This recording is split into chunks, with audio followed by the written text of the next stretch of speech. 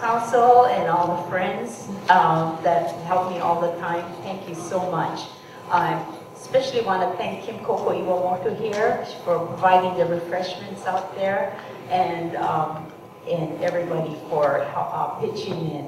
Um, I took a short vacation. It was a staycation actually at um, Wilcox. It was tiny, but you know, um, it, it was something that had to be done, and it was amazing how many people just showed up and offered help. And so this is the reason why I'm able to be here today, in spite of the coconut wireless that went around the island and said, I think it's canceled. You can't cancel me out.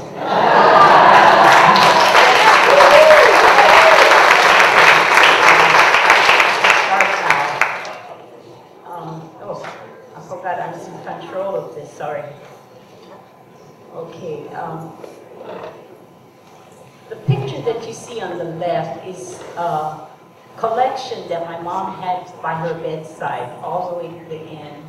And I think she took favorite pictures of from her life so that she, she would have little memories that would trigger things that happened in her life. Um, I was never a real big history buff. I think maybe that was one of my weakest subjects. And I never really um, cared that much for history. I, throughout my life, I kind of felt like I was floating, not really belonging anywhere. But things changed because of something that happened in my 20th year, and I'll share that with you later.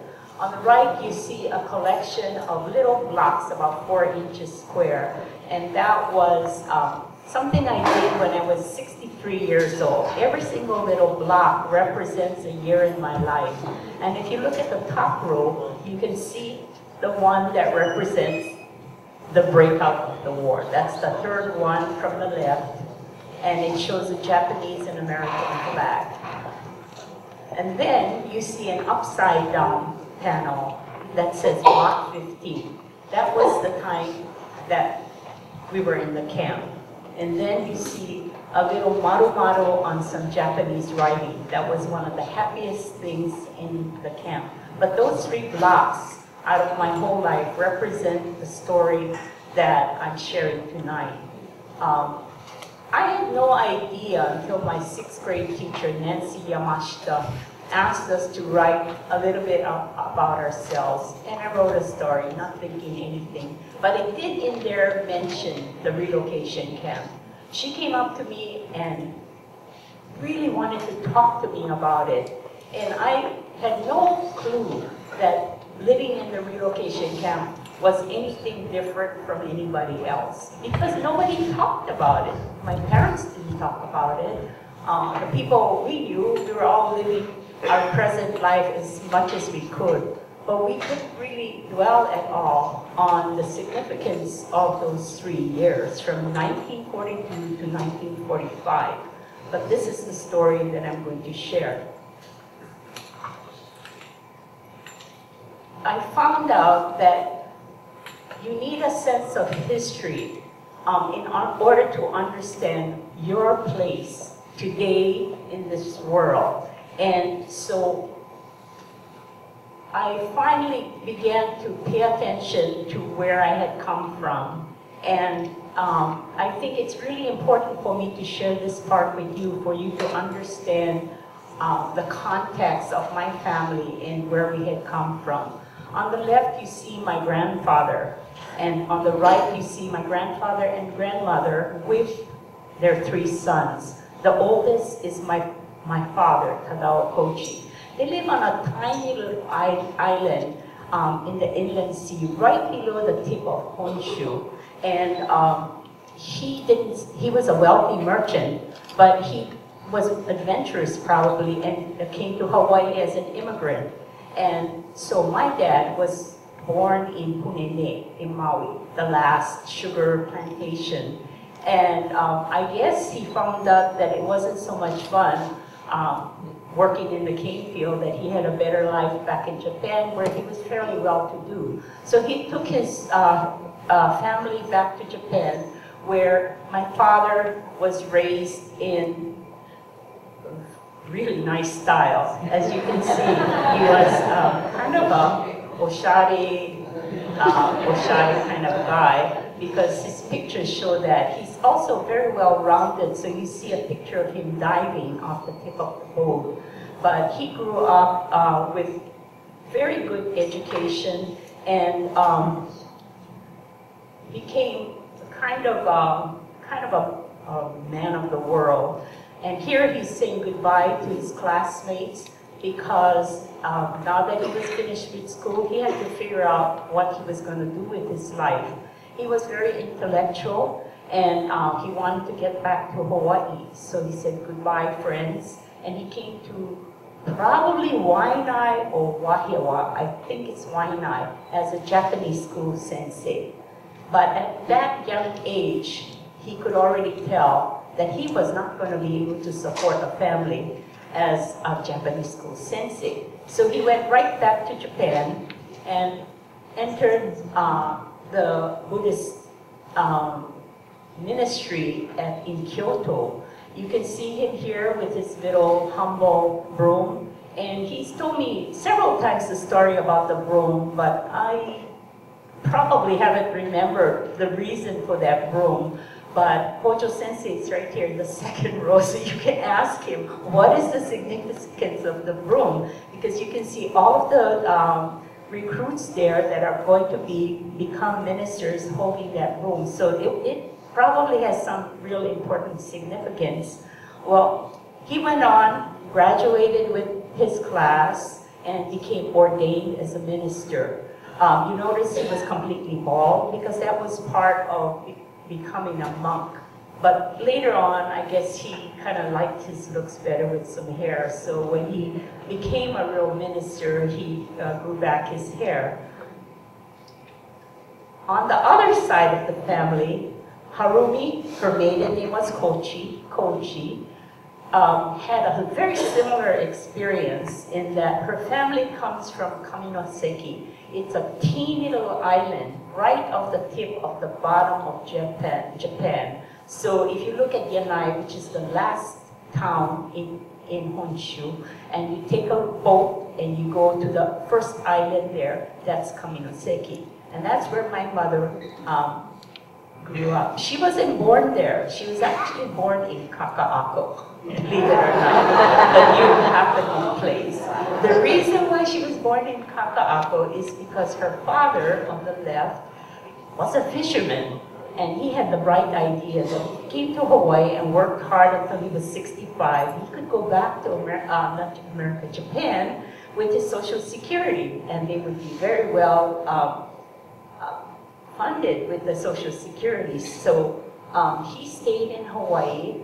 My mother, who was born there in the center picture, she, and, uh, at age 12, went with her mother back to Kaminoseki because as a fisherman's wife, she didn't have too much to do. Whereas back in Japan, they had a large, large rice farm where she could uh, be more useful. So Young Harumi at age 12 went back to Japan and entered the school at, in Kaminoseki. It's a girls' school, and you can see her there with her class, and um, she's, if you look,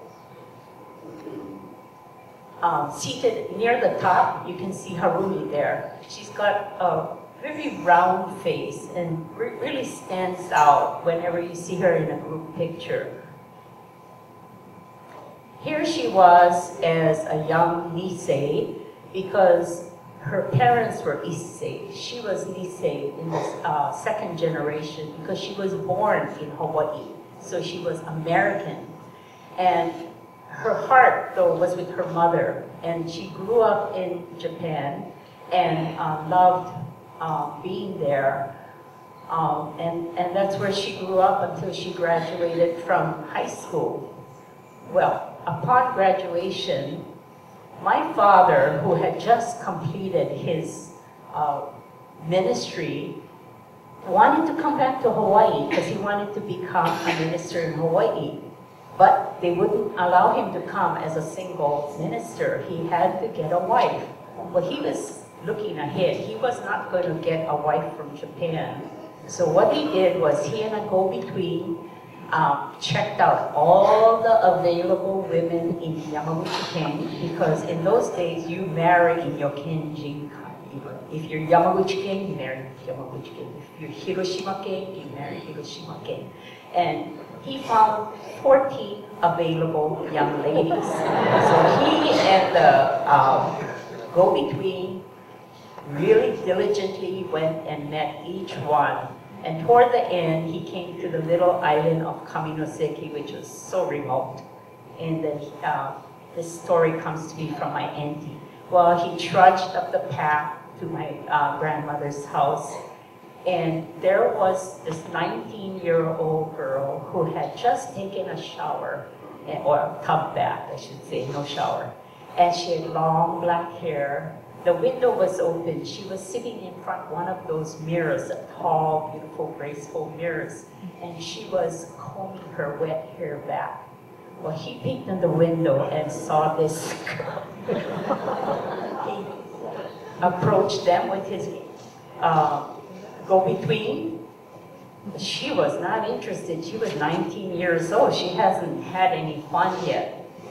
So she turned him down. Well, kind of persistent. So he went halfway down that hill, and there was a little hotel there or an inn. And he stayed there for two weeks and kept pestering her and pestering her. He and the go-between would not leave.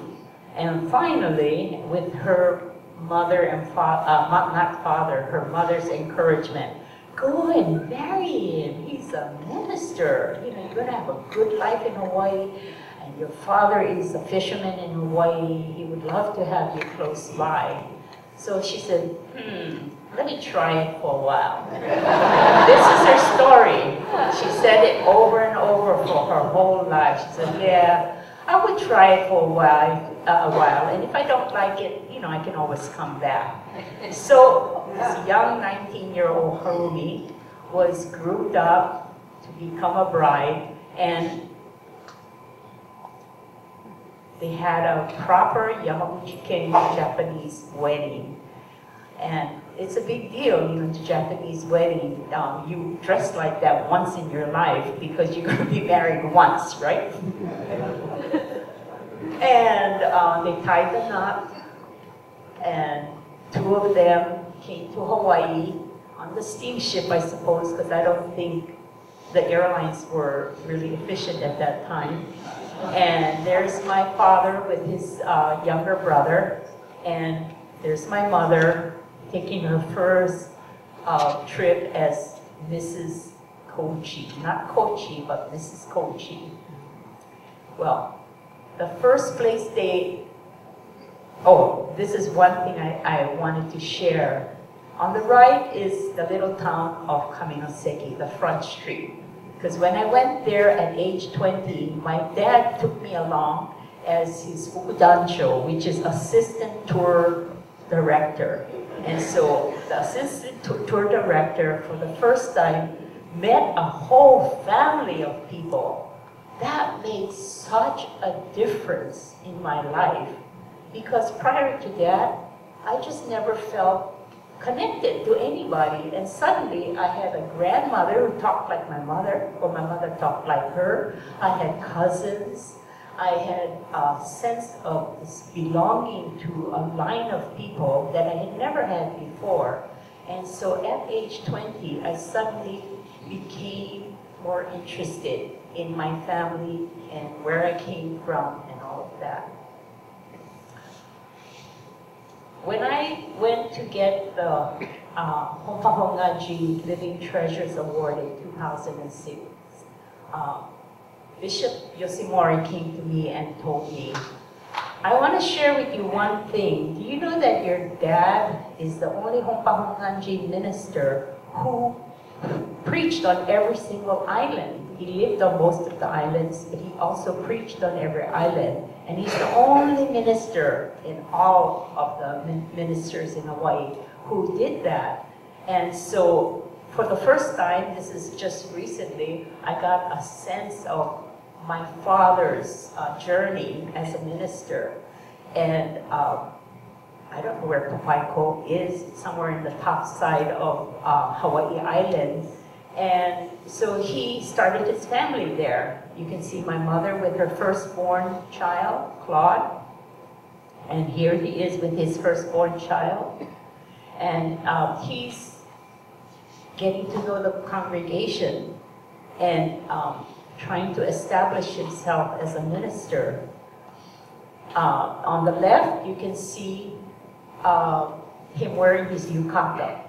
Most of the time, that's how he was dressed. He would wear this yukata with a belt, sash around his waist, through all the years that we were growing up. On the right, you see Pauwela Hongwanji. I have gone back to Maui many times, and I've driven around and around Haiku, Paia, uh, uh, Makawao, looking for where was I born. I was born in Pauwela but I could never find the church because it's no longer there. But I did find one picture there. Well, my dad and mom were very busy. It's a little country church. What can you do? I mean, you know, you have a lot of time. So along came Stanley, which is in the bottom picture. The top picture is Claude. Second picture is Stanley. And the little baby there, that's me. Hard to believe. So anyway, the family started to grow, and um, my dad, after three years, like most of the ministers, had to move after three years. So the place, place they went was the closest, which was the island of Lanai. And uh, you can see my mother, she's still quite young, but look at her family. Just Claude, Stanley, myself, and then she had another one. His name was Norman Yochang. Well, it was, this is where the church was. It was right next to the school. Picture Lanai, it's one mile square. In the upper left-hand side is the school, and the temple is right next to it. Over on the right-hand side is Koele, uh, which is now a big, beautiful resort. On the bottom left was an area I never went to, and on the bottom, um, oh, I'm the bottom right, but on the bottom left was the place that eventually would, would become our home. But at that time, this was the Buddhist church. And uh, on the right, kitty corner to the church, was the police station. And I mention this because the police station became very important in the story the, when the war broke out, they found all the key people in the community. And because all the Japanese were at the Buddhist church, the Buddhist church was the center of their life. And at the center of their life was the sensei, which was Reverend Kouchi and Nakamura sensei, the handsome gentleman to his right. He was the Japanese school sensei. Together, they rallied all the community members and uh, so every single Buddhist minister, I think, in Hawaii may have gone. I'm not really sure on this, but I heard at one time that um, they were all sent to relocation camp. Well, before, the process from the time the war hit until you can relocate the Japanese is very long.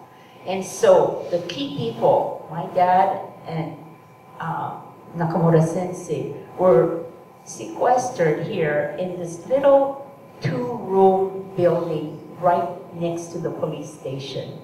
When Arnold Meister and I went back to Japan, not Japan, we went back to Lanai to visit in 2009, I took a picture of this jail and I said, why is it still here? Mrs. Matsumoto, who was uh, taking us around, said, because they can't tear it down. It's a historic building. It shows the jail during the war. Well, my, there were two separate rooms with two separate doors, and my dad was in one, and Nakamura Sensei was in the right.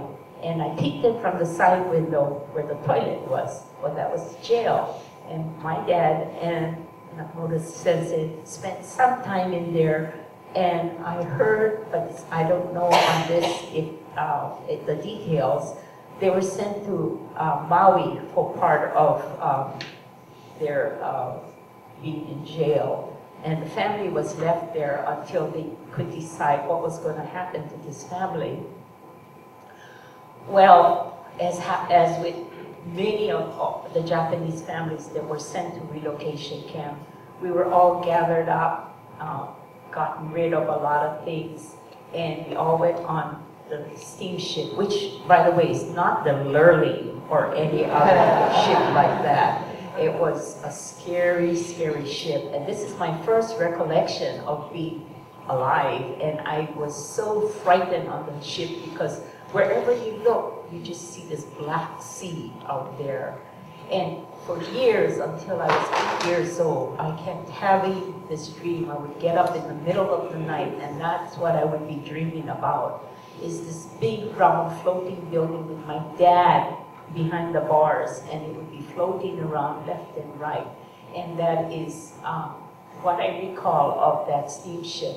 On the right-hand side is the table, because you couldn't um, feed a lot of people if everybody was sitting down. Those who could stand would stand at this counter and eat. My mom always had a baby. One baby in her arm, one baby wrapped around her thigh. Well, I was the other one. So in order to feed me, she would put my food on the floor. So this is part of a art piece I have in the back there, uh, uh, spread out on the table. And the title of this piece is called Was I the Family Pet? I remembered from that two-year-old age that whatever I saw, I remembered because everything came to me as pictures. And if I think back and if I was paying attention, I would remember these things very clearly. Well, from the steamship, we all stopped in Fresno for a while. There was a boarding um, house there. And so the family stayed there until it was time, time to ship us out to where, wherever we were going to go for however long we were going to be there. And our first stop was Jerome. You can see my mother on the right in Jerome. But there was a problem with Jerome. For some reason, I don't know what the reason was, my dad couldn't be with the family. And so after this, we were moved um, this was still Jerome, and it was very cold at that time. So this was our first taste of Arkansas winter. Um, you see me with my uh, little brother on the left, and um, Stanley and Claude, my two oldest brothers, freezing in the snow, and that's me with my little pink snowsuit. I was really happy to get the snowsuit, but not happy with the cold finally, the whole family was moved down to Rohwer, Arkansas. And that, at that time, my family, uh, my father could be relocated with us.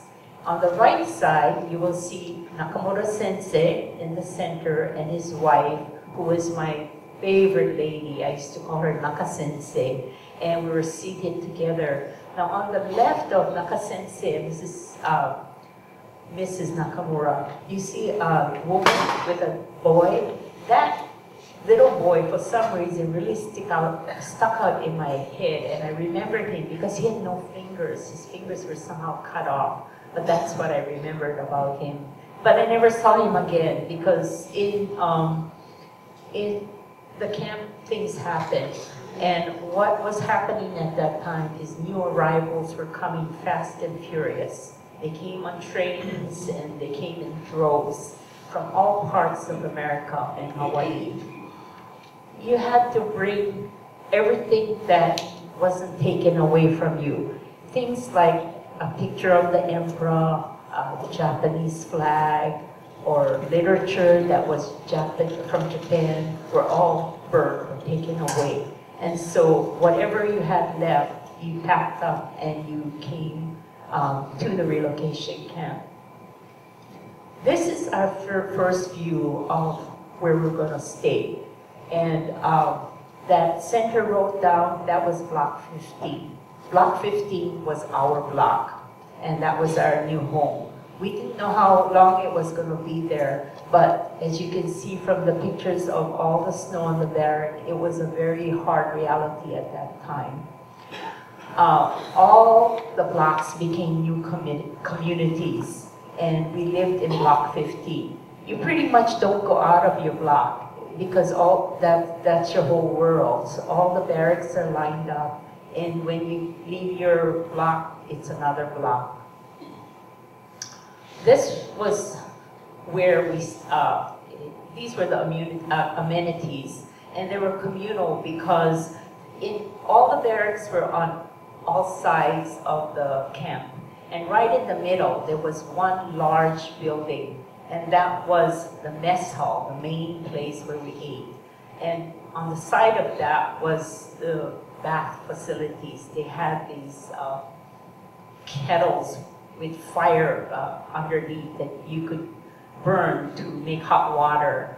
And so, um, in order to ha- be, have any of hot water, all the people will have to pitch in and um, do free labor to chop wood. So the bottom right-hand picture is the each community is chopping up their own wood in order to have hot water.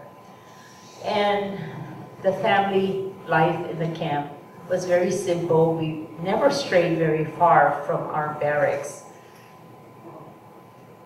My little brother Yochang, he's the one on the left, he was my favorite companion. I never left his side. And that uh, was me on the right.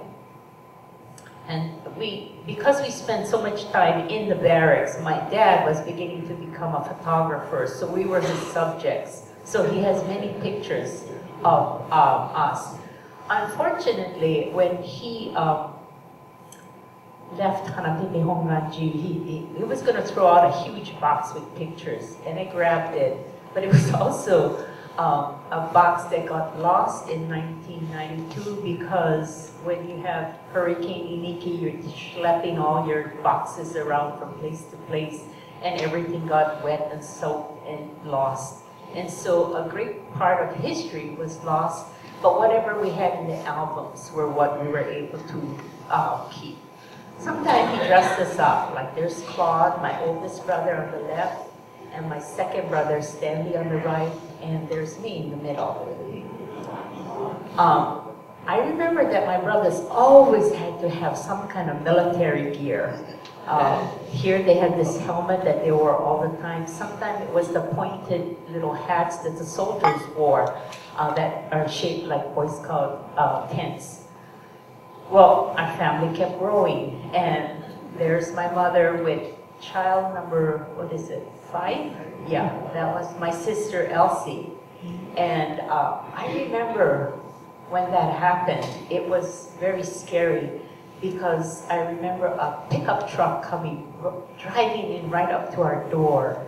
And I saw my dad putting a trench coat over my mother, and uh, this gentleman took my mother out the door. I cried the whole night. I had no idea where she was going. In the morning, my dad took me to the hospital, and we looked through the windows, and there was this beautiful baby, baby, and her name was Elsie Kazuko. Well, here we are, living our life uh, with our favorite red wagon, and you can see how bleak it was. It it had no trees there. I didn't know that there was such a thing as trees. And you know how much they say in education that you really need to expose your children from ages birth to five years old because those are the years where they're going to pick up the most information. Well, there wasn't much of anything to experience there because the life in the uh, camp was very simple and very bleak. But there also were many children because what else do you do but make babies? So there were many, many babies. Um, I remember once they had a baby contest, and I have a picture also with all these mothers sitting in a row with newborn babies. Um, so there were a lot of children there. Uh, there's the picture on the right, my mother with the baby at the baby contest. And they would celebrate everything so that we wouldn't forget we were Japanese. And so the first time I saw this beautiful display of all these little Japanese dolls, and there's a whole arrangement for that. They dressed me in a, a kimono to stand in front of the Japanese dolls.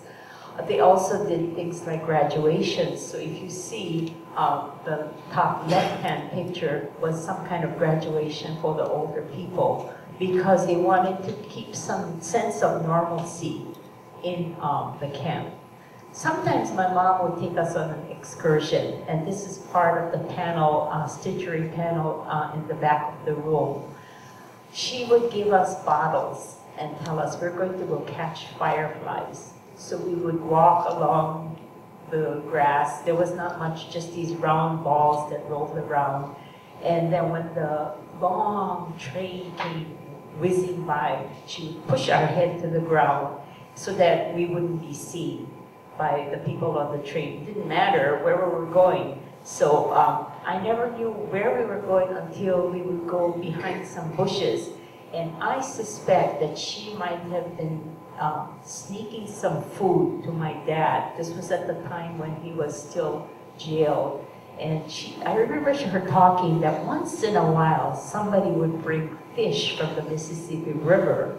And oh, if it's fish, my dad would be so happy. So she would cut and slice this muddy fish and try to give it to my dad for to make him happy.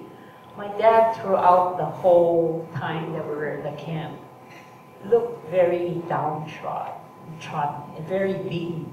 I used to see my mom, he would not go to the mess hall to eat with us. He would sit on the side of his army bed, and my mom would bring the food home, set up a little table in front of him, and serve him the food that she brought back from the mess hall.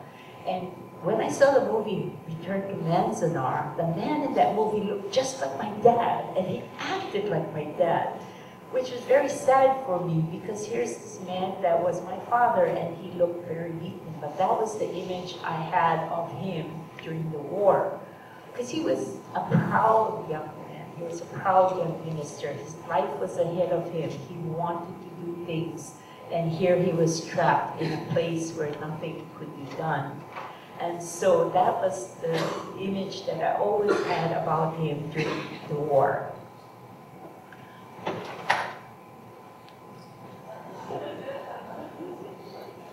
Years after the war, I would remember these pictures that were in my head. And so I decided one day, I'm gonna sew these pictures. So I have a style of creating my art where I take, take a piece of cloth and I go to the sewing machine, which is threaded with black, black thread, and I sew like I'm drawing a contour drawing with pen, except I'm using black thread on a sewing machine and I move the fabric around and around like this. And the picture that you see on the left is of me um, having my Shirley Temple curls removed. I was born with really curly hair, which was problem problematic because as we were going from place to place to get to the camp, we would always have double bunks. And so the springs above the bottom bump would keep catching onto my hair curls. And so, and then the other thing is from the time we were on the steamship, I could never, I was always seasick, constantly, whether we're in a car, the train, I always had to run to the bathroom. So here's this girl with her hair tangled in the um, sprains trying to get to the bathroom, and my mother got pretty disgusted with that. So when we stopped in Fresno for the two weeks before we were shipped off to camp, my brother, uh, my father's brothers, who were debonair young Japanese, all came. There were four of them. They tied me to a chair. They all held me down, and my uncle took the scissors and cut my hair off. And I ended up with straight hair.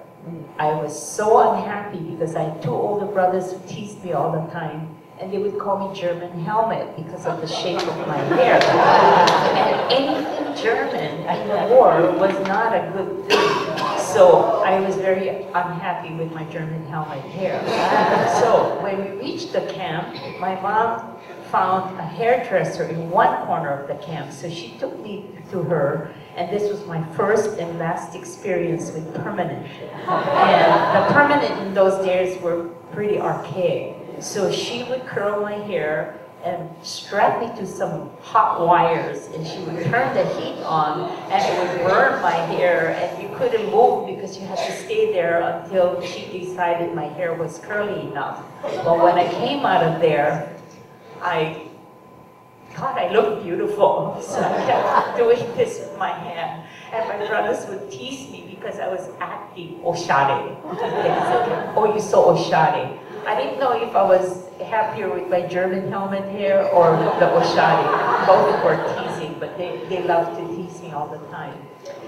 Well, because you have nothing to do, you have to figure out what you're going to do. My second brother was kind of a rascal and always thinking of what he could do. So one of the things that he and I did one day was we dug a large, large hole in the tomato garden and then he put sticks across the hole and covered it with leaves, and then he put a lot of water in there until it was full of water. And then we looked for the first innocent victim to come by, and he would coax him to go over the branches and fall into the water. but this was our way of, you know, making um, life for ourselves. And there I am with my um, younger brother, Yochang, and my then best friend, who I've never seen again after the camp. Um, uncle, I'm sorry, forgot mine. On the right-hand side, on the right-hand side is something that we did every Friday. All the kids in the camp would come and sit at the corner of the camp where the rubbish was dumped.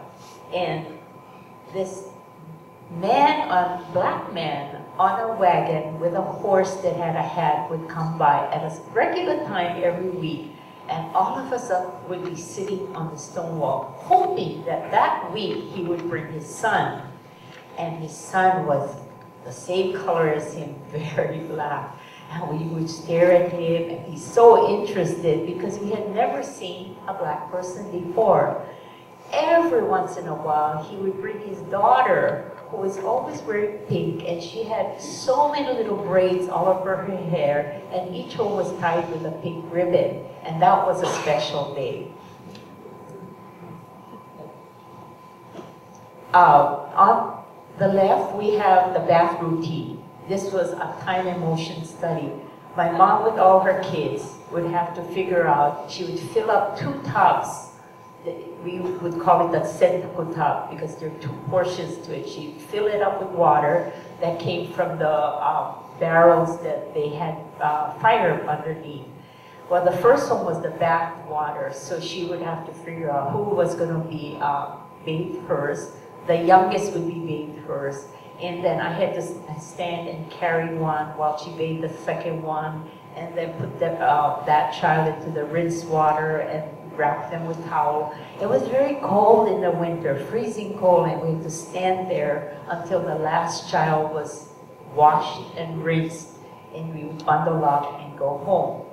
On the right-hand side, you see a picture of me at that age, four years old, very young, but a lady in the other corner of the camp needed to go somewhere. She had an infant child. My mom couldn't go, she had a lot of kids at home. So she's, she took me down to the lady's house and said, you sit here and you watch the baby and you don't move because until this lady comes home. So the lady came home and she went to her closet and she pulled out a candy bar that was wrapped with paper. You know, the kind that you see all over the store these days? I had never seen one like that before. It was a big candy with nice wrapping and she gave it to me and took me home. Well, that candy sat on our altar for almost a whole week. So I sat there staring at the candy week. Finally, my mom would take that out, open the wrapping, cut it into enough pieces so everybody had a piece of the candy, and that was my reward for being the babysitter.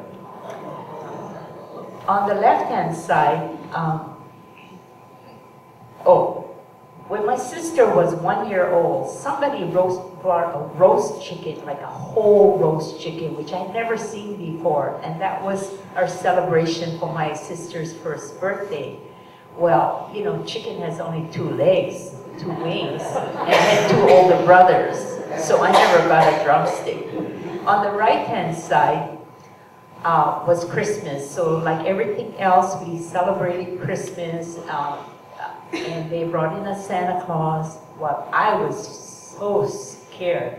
I looked at that man, I jumped on my father, and I cried and cried and cried. He had a toy for me, but I, I couldn't go and get the toy. So my hero little brother, Yochang, he went and got the doll for me and brought it back to me and handed it to me. It was a doll that had two heads. At the top, it was a white head, and when you flip the skirt over and you looked at the head on the other side, it had a black head. So it was a doll that had, uh, whose skirt would flip up and down. So it was either a black doll or a white doll. And I just treasured that doll because it came from my brother Yochang. Well, it was very cold that winter. And right after Christmas, my brother ended up in the hospital. But the hospital was very short-staffed in those days. My mother would go, but they couldn't keep her there because we had children at home. So she would go and see him, and she said over the years, she keeps repeating the same story, that every time she went, Yochang was lying in his own shishi. And he was wet and cold, but he didn't last long. He died with pneumonia in the hospital. And so we had a funeral, and I remember the funeral clearly because just before they put the coffin into the hearse, they opened it up, and my mom uh, took these pins off this little black hat that had a veil on it, and she put the pins inside the coffin. She looked at me, I had the little doll with the two heads. She snatched it out of my hand and put it inside the coffin, and I cried and cried because I didn't want to give that up. But she said, no, you have to give that up. And so my best friend was gone, and it was very, very sad for me. And the sad part is he died on January 10th, which was my mother's birthday. So it was a very sad time. We, I don't think this was the picture of my brother's funeral, but it, you know, there were other funerals. And so we were dressed up, my brothers in their suit, and I was carrying a beautiful doll whose eyes opened and shut because a GI came one day and brought me that doll. I don't know who he is, but that's the doll, the only doll I ever had, and it was beautiful. And I had it until I was 12 years old, and the arms and legs fell off. But it came from that GI who visited us. Well, there were other people with other stories, and there were many, many women in there. And they were kept busy doing things that was helpful for the wartime effort. But where are the men? The men were not there. I remember seeing all these uh, very feminine, beautiful women. And um, my dad, this is one story that he never told me about, but it came down to uh, later on. He used to go every so often to a place called Camp Shelby, where soldiers were. And he came back very disillusioned every time he went because he would see all the Christian soldiers being very, very spiritual and paying attention to their religion and praying and, you know, uh, embracing their religion.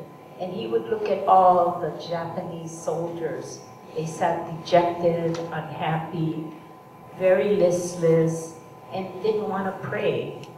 And so this really bothered him. So he came back to the camp and gathered up all these beautiful young women and told them, you go find the food wherever you can and prepare a dish that the soldiers would like.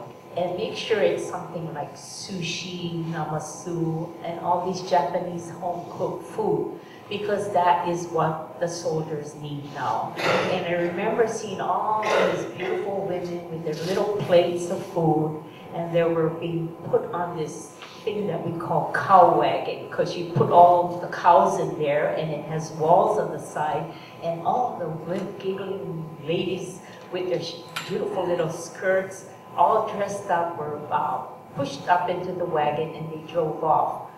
I lost all those pictures, but there were many, many pictures showing all these GIs dancing with young girls. And I always wondered, why are they dancing? Well, that was the dance party where my dad got the young girls to prepare their Japanese food and go and dance with these soldiers before they were shipped out.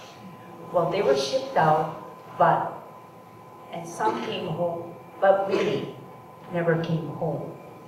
And so, near the end of the war, they had a giant um, ceremony for those who never came back. And I don't think I went to this event, I would probably have remembered it.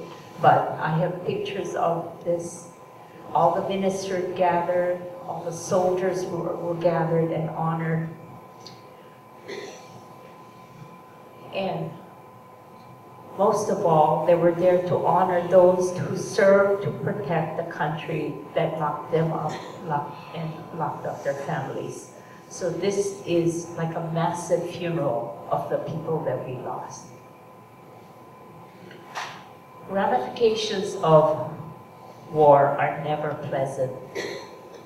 My brother died in the camp hospital. My sister, who was born, was born with a congenital condition which she lived with for all 33 years of her life. This is not something that surfaced. It came out when she was nine year old, nine years old, and coming back to school, she fell into the ditch, and she, the reason was that she had a blood clot on her neck, and so they shipped her to uh, Queens Hospital, where uh, they did an operation when she was 27 years old, I mean, she, she was fine. She, she couldn't walk when she came back. Her legs were pencil thin because she was in the hospital for almost a year. But she learned to walk again and grew up, went to school, and, you know, had a very uh, productive young life. And they got married, and at the age of 27, right after her son Scotty was born, she had another massive stroke. This time, the operation was in the back of her spine. And so she was operated on by Dr. Cherry for 11 hours. He was unable to remove all of the tumor, but he did the best he could. But in the process, he had to sever her spine. So for the next five years of her life, she lived in a wheelchair as a paraplegic. And finally, at the age of 33, when her son was five or six years, six years old, she passed away from the same condition which had come back, which probably was caused by the trauma that my mom suffered when she was carrying the child in the camp. And these are things you don't see, they surface later, but these are some of the atrocities that come out as a result of the war. Um, after the ceremony, they gathered the people, um, the minister spoke, they all had a chance to eat. Um, but it was a sad time and it was close to the end of the war. there's a fallout that is sometimes not all bad. My father had many um, young soldiers coming back, but among his uh, belongings, I found many, many pictures, and I never knew why he had all these pictures. But remember the dance party where the young ladies and the young men met each other, and it's wartime? Well, friendships were formed, and over the years, these were the pictures that came back to him. Now, who these people are, I don't know. But my guess is that they probably met at the dance party. And so this particular couple, her name was Grace, beautiful woman. And she was family friends for all the years and wrote to my mother. And about six months before my mother passed away, I remember seeing a letter from Grace. They kept in touch because they were lifelong friends. And my parents had a lot to do with the union of these young men and women. The war ends, 1945. It's time to pick up your life again. So goodbyes were said. But the sad part about it and the big question was where to now? Many lost their homes and livelihood. A lot of the people were from farms in America, in um, the West Coast and all over the country. They had beautiful farms which were sold for a dollar to the white farmers. And so when they went back, there was no farm anymore. And so uh, this was the plight of many. Well, where did we go? My dad wanted to return to Lanai City, Lanai. This is the little island that we lived on just when the war broke out. Lanai is an island with, Coel, uh, with uh, Norfolk pine and pineapple. That's all you see, and some ironwood. That and to me, the Norfolk pines were so beautiful because during the five five years of my life, I didn't know there was such a thing as trees, and so the, when I came back and I saw these tall stat, statuesque trees, I thought they were really nice. Well, the jail was still there, uh, across the street from the old temple, but um, everywhere around the one mile square of town was pineapples, pineapples everywhere. And where was our church? This is the church before the war. You can see that temple bell hanging there. It was next to the um, Lanai City School. But when we came back, it was no longer a Buddhist church because it had become a Christian church. They had to sell the church for a dollar to the Christians. When I went to visit in 2009, Mrs. Matsumoto took me there and we went to the little house next door, uh, which was the parsonage. And she took me to the back corner of the house and she pointed to the window. She said, this was your bedroom here. And I was your babysitter. So that was very interesting for me. Um, but, you know, we no longer had uh, a church to come back to. So, uh, and it took a long time to establish. So where did we stay? We stayed at, with the Nambasan family. So on the left you see Miss, Mr. and Mrs. Namba and her whole family living there. And when I went back to see how big this house was that I thought was really big, I don't know where we all fit. But we lived there for months and months until they built a church in the the first corner of Lanai City, Lanai. So as you enter Lanai City, Lanai, the first corner lot, my dad took three buildings. He made one the temple, and there was a second one that was the office, toilet, and furo. And in the back was the big portion, which was the parsonage, because his family kept growing and growing and growing. So here's a picture of the growing family. There's my mom, and uh, most of the time we were just casually dressed, as you can see me with my brothers. And um, we just uh, lived a life, very simple life, as my dad uh, worked to develop his ministry. um, at that time in Lanai, another baby was born. So you can see on my mother's lap, my brother Masami. Now they had never experienced the war because they were the ratoon crop that came in Lanai. My mother, if you look at her in all the pictures, she looks very well groomed, but most of the time, this is how you saw her.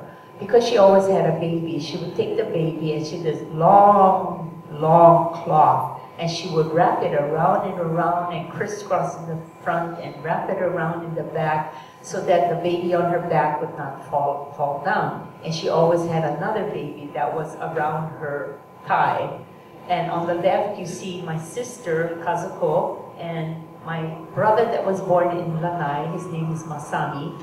Um, he has an English name, Alvin Masami Kouchi. But we all call each other by our Japanese name. The only two that were called by their English name was Claude and Stanley, because at the end, uh, toward, when they started to go to school, the war was still on, and it wasn't too cool to be called Hironori and Tadanori when you went to English school. So their name was changed to Claude and Stanley. But the rest of us were all called by our Japanese name.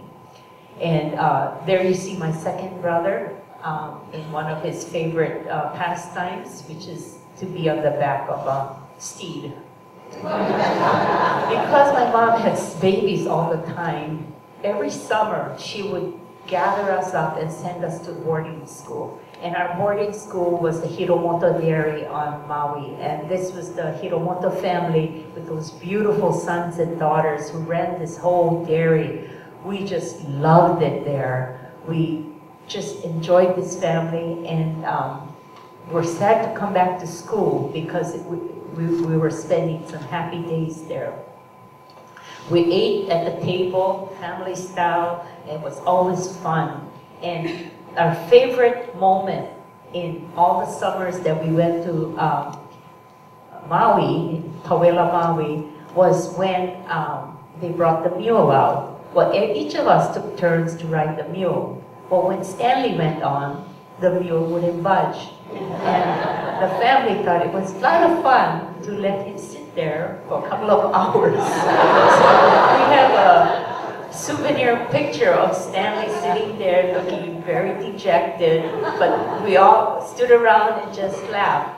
The picture on the right is really interesting because 56 years after this, I happened to have a job where I had to pose as the grandmother and they brought a man in who was going to be my husband in the uh, in the uh, shoot uh, in the photo shoot. He had a beautiful daughter who was his real daughter, and they got the golf pro from Princeville. So we were all sitting on the beach at and posing. But when you're waiting for the photographer, you talk story. So his daughter said, "Oh, we should just send this out as a Christmas picture and say." Merry Christmas from the Hiromotos. And I went, Hiromoto? And I looked at the man, my husband, and he was the, our babysitter from the Hiromoto Dairy. He was the older brother. And I looked at him, and he looked at me, and suddenly it clicked. We, he, we used to be at their boarding house at Pauwela Dairy and never realized that it was the same person. But this was a funny thing that happened. Well, in Lanai, my dad was um, trying to build his congregation. So one of the things he did, and that was throughout our whole life, is every Friday night, whoever came, wanted to come, came. And our house was like a party house because members of the congregation would come. Some would come every Friday night, and some would come intermittently. But we ate together, and we just had a great time. And um, um, this was what we did on, on Fridays. Then on Sundays, everybody came to church, and here's a special picture because you can see the little house in the front covered with flowers, and that was a Hanamatsuri um, little altar. And I love doing Hanamatsuri because he would allow me to push all the akulikuli flowers into that and decorate that whole thing, and I thought it was such a special thing to do. He built the congregation with children, and one of the things we did most of the time is Sunday afternoon, everybody would go down to Manele Beach and we would picnic. And so this was part of the way he built the congregation. And they would also come to church. And um, when I went back in 2009, I took a picture of that temple because an older gentleman came and told me, Do you remember that Ofutsudan? And I said, Yes, I used to uh, dust it and I, I made the Hanamatsuri little temple. And he said, But you remember what your dad did with it?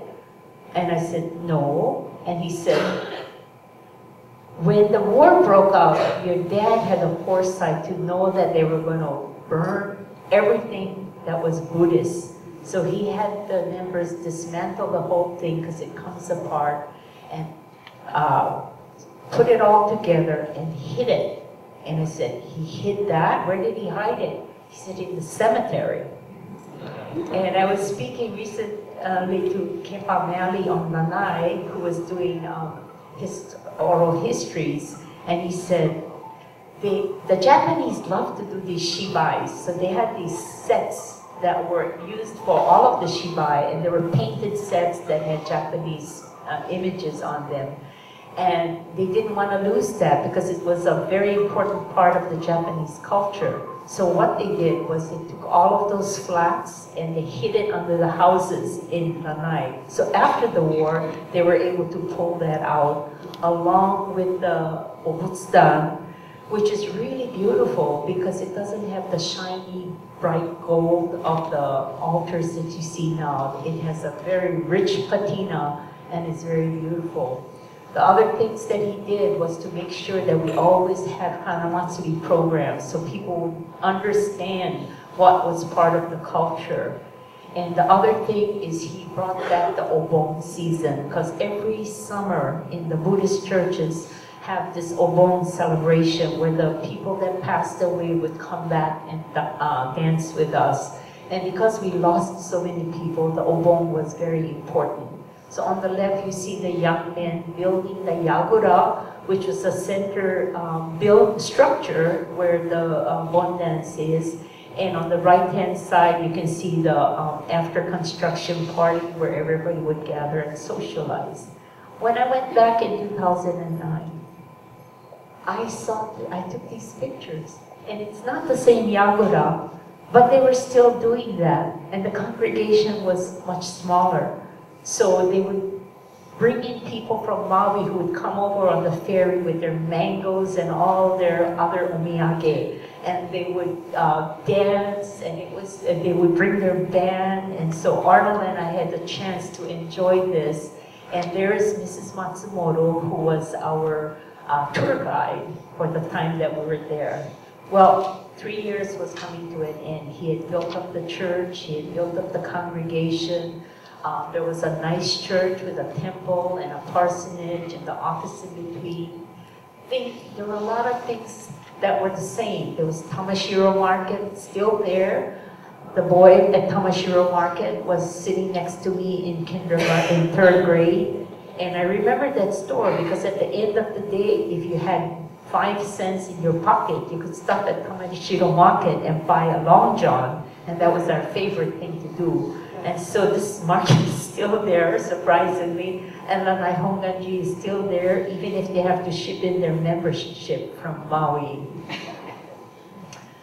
Um, this, we left Lanai April 9, 1949, and we moved to Waimea because Waimea was ravaged with uh, floods. The river was rising all the time whenever there were big rains there was uh, Reverend Mrs. Owe there, and she was a single woman because her husband, the minister, had died, and she was trying to keep the Waimea church going, but it was very hard. So she was sent to Lanai Hongwanji, where everything was nice. There was a long, big congregation, and we moved to Waimea, where there was an old-style temple there. And uh, although my last brother, Shoji, in, on the bicycle, was born in the night, it was December 28th, and we were trying to get to Waimea, so we were packing. He had no time to be taking pictures, So there's very, very few pictures of Shoji as a baby. But then when we came back to Lanai, he was got his cameras out, so he has a lot of pictures there. And there we are in the parsonage in Waimea, and the whole structure is changed now. They rebuilt the temple, they rebuilt the parsonage, and um, we, he did the same thing in Waimea that he did in Lanai. He started a Japanese school. It was a big, beautiful yard. So all the children in the, vam, uh, in the valley came there. We played football and whatever was the seasonal thing that we were to do, it was just packed with kids. He had Japanese school going full time and uh, he was rebuilding his congregation there. Uh, when we came to the house, I remember the watermark on the building was about chest high because of, uh, the river had flooded the house. Well, that was cleaned up. We had two more floods after that where the same thing happened and we had to row around the yard in the boat. But then they fixed the river and so we stopped doing that because everybody in Waimea Valley had to live up at the community hall where the Red Cross brought food for us and so on.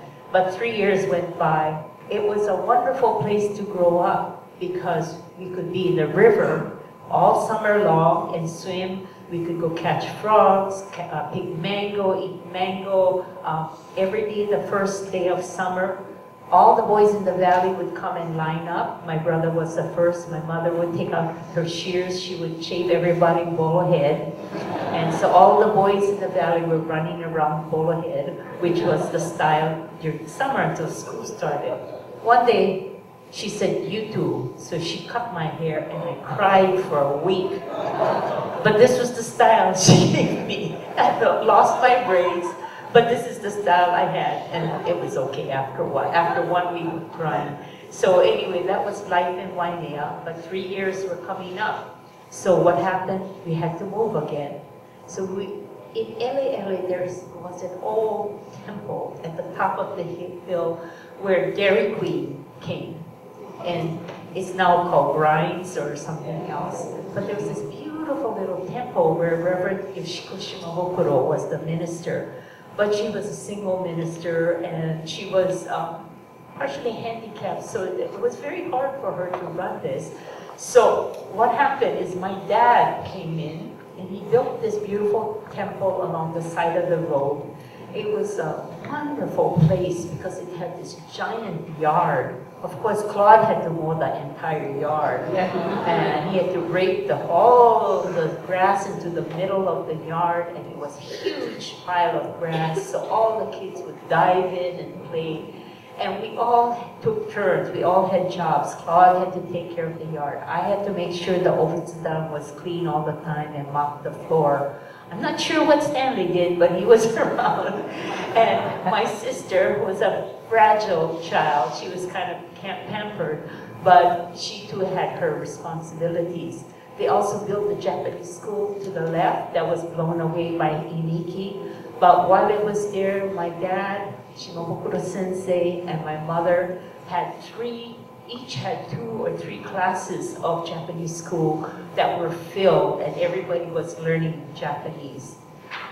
My classmate told me at that time, I'm not going to Japanese school because my parents told me Japanese is going to become a forgotten language because all these Issei people are going to die off and pretty soon there won't be anybody speaking Japanese anymore. So my parents told me I don't have to go to Japanese school. And I was very puzzled about that.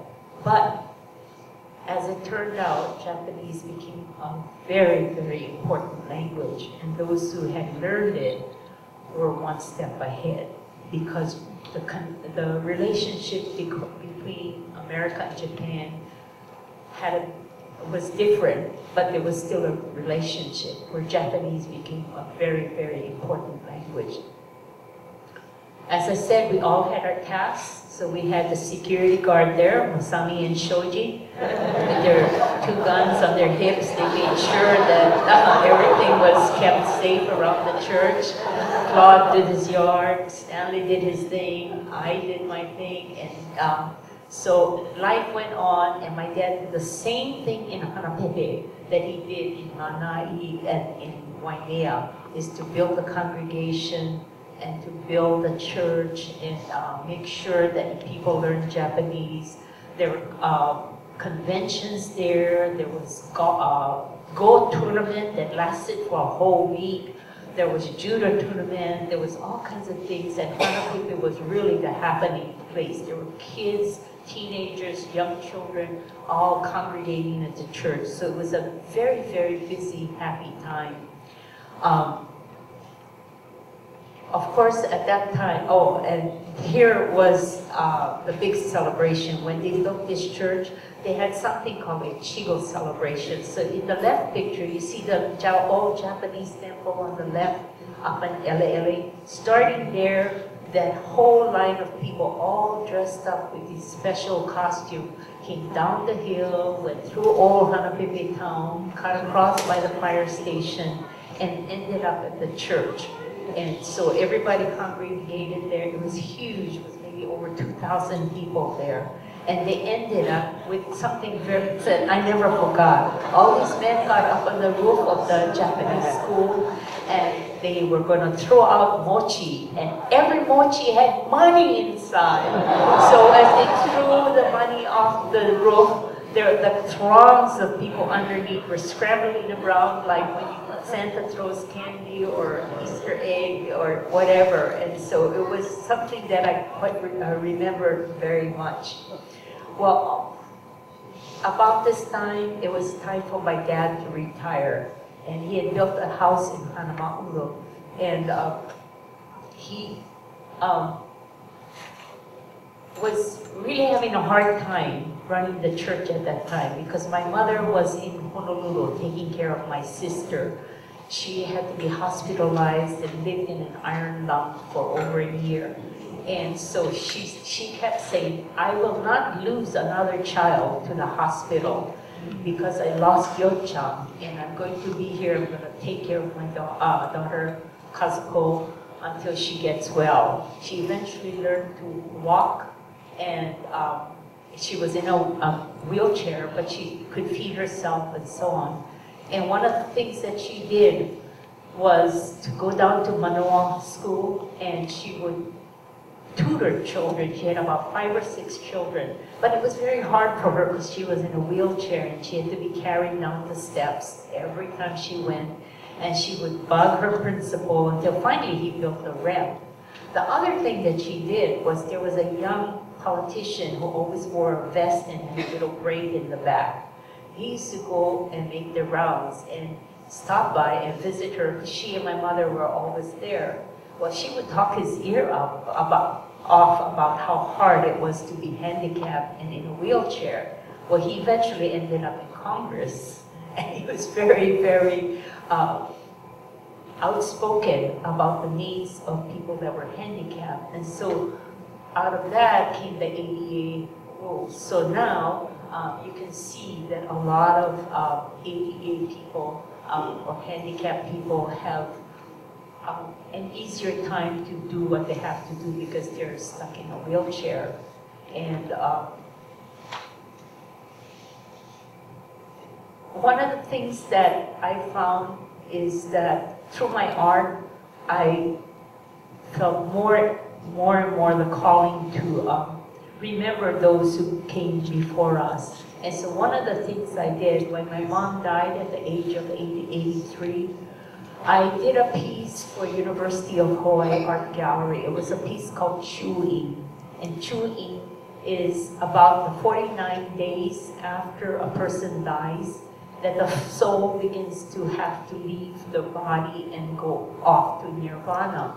And so I created 49 of these little figures, and I have five in the back of the room, and they were all on a stand with all of my mother's superstitious words on that long pan. The three panels were covered with words that my mom would say, and they were all done with the stitchery uh, style of art, and they were hanging there. But if you look at the fi little figures and you turn them around, you can see that every figure has their legs uh, folded in uh, with their toes together. And when I used to go to Omairi with my dad to people's homes, he would make me sit in the back, very back of the room. So I would look at everybody in front of me, and they were all sitting with their legs crossed. I don't know what happened to those people with bad knees. I could never do that. But all those people were sitting there, and they had their legs crossed, and I would be viewing them from the back. So when I made these pieces, you would see a little signature there of the toes uh, meeting in the back. Um, about this time, I think a lot of the legislation had passed where each person who was in the camp was going to be given $20,000. My dad had already passed away, my sister had passed away. So the $20, $20,000 did not go to them. But everybody else who was alive was given the $20,000 check. I got my check, and I looked at that check, and I thought, you know, something good has to come out of this because it's been a lot of bad in the war. And so I really thought about that long and hard. And then I asked my brother Masami if he could help me build my studio. So down in Yumalo, where I live now, I created something called the Art Pod. And so here's a little slideshow of what happened there. And an empty, marshy piece of land. I started to build a wall, put a floor.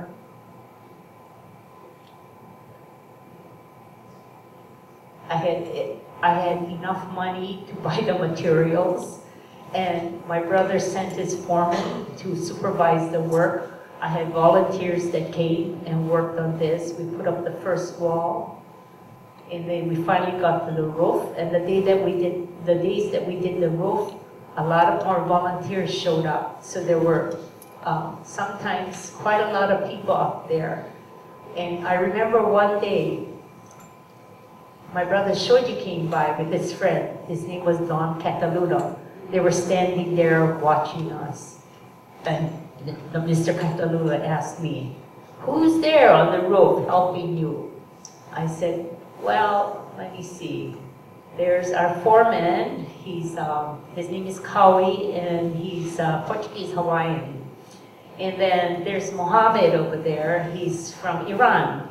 And there's Pepe over there. He's from Ecuador. There's John Piero there. He's from Italy and Ethiopia. And Arnold was there that day. I said, Arnold is a German. And then my son Seiji, he's Japanese.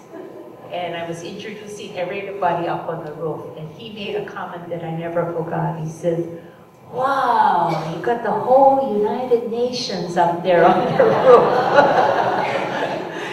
so yes, we did finish the roof. And that today is called the Art Pod. And um, in order to remember this, I did a glass painting which is in the back of the room. I took all these separate images that I had of the wall going up, the backhoes, the ladders, the dog, the wheelbarrow, and I created this piece that to remember the building of the structure. And today, out of this art pod um, comes a lot of good. Out of this comes the airport displays that you see changing all the time. Out of this comes the Van Gogh program, which ministers to a lot of, um, not ministers here, which educates a lot of children in art. And uh, we have the Kauai Craft Studio where a lot of uh, artists gather and work on uh, art very happily. And so out of the $20,000, which covered part of the building of the art pod, came a structure that is alive and living today. Of course, my brother Shoji stops by all the time and he says, what? You get disease or what? Always building, always building. but uh, it seems to be a pattern, but it's all for the good and it started with the $20,000. And I said, it can't be all bad. Some good has to come out of the bad. And that was my solution to this. I thank my kids who were sadly neglected pretty much of their life. There's Jody, she's here. There's Jerry, who couldn't be here, and Seiji. Um, and they're my kids. They're the silver lining in my life. Although I must say, like my daughter just told me before this, you know, you're always working, working, working, yeah? We never saw you. But they turned out okay, so that's good. And um, here's the rest of my family. Claude on the left, who was told that he should not go to college because he was not college material, so better go to some technical school. So he went to aeronautical school, became an aeronautical mechanic, then an engineer, then worked for Edison Electric uh, as an electrical engineer until finally he devised his own system, which is to uh, balance electronic, electronically um, correct the imbalance in large buildings. So he was in Hawaii all the time, going from uh, one sugar mill to another sugar mill, because every time one thing went a little off, the whole building would shake. And so he figured out a way to correct the imbalance. And so that's his business with his son. Um, but he, he also has passions, and one of his passions is to build uh, taiko drums and upright basses, and his son builds ukulele, and he loves Hawaiian music, so he's a huge supporter of the Hawaiian music program at Whittier. My second brother, um, he's happily retired now. I think he goes fishing. I never see him. But throughout his life, he worked for the steel company, and his job was very heavy duty. He put in the foundation for buildings such as the Mauna Lani, Ko'ele, and the Lanai, Manele, and the Lanai. Uh, the big long bridge that goes from the airport to Hanama'ulu, Chiefess Kamakahelei School, and all of this. But this was all work related, and his passion is to go fishing, hunting. And now he, all he wants to do is be retired, and so he's the smart one in the family. And then there's Masami, the really handsome guy there. And Shoji, I had to search through 35,000 images. I could not find a picture because he's very camera shy. I found that. I finally found it this morning. And uh, they, uh, Masami's a contractor, and Shoji was here at KCC as a welding instructor, but these are my two younger brothers who didn't experience the war, but they experienced living in a family. And although my father never told us, you need to spend your time doing charitable things, my mom kept telling me, don't do charitable things, pay attention to your kids. But today, these two brothers are staunch supporters. I think right now my brother is, um, Sami is spearheading the renovation of the Japanese school um, hall in Hanapepe that we spent a lot of wonderful uh, years um, enjoying. And Shoji's very, very active with the churches. And one thing I want to say about my brother Shoji is because he's the one with the heart who really cares after Iniki, I saw him driving around with his friend Albert. His truck was piled high with plywood. He kept going from house to house looking for old couples who couldn't do anything and pound, pounding these plywoods up on the walls that were broken. And I answered, hey, can you come and help me with my wall? He said, you're not old. but that is so typical of him.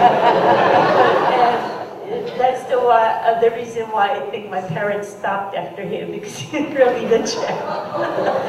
my sister is not pictured here, but you heard her story, and she was a champion in spite of all her handicaps. And um, although the war was hard, my dad was sad, um, he set the example for us that need to build, and he was a master at it. And so this is my story of my family and how we survived the three years in the relocation camp. Thank you very much.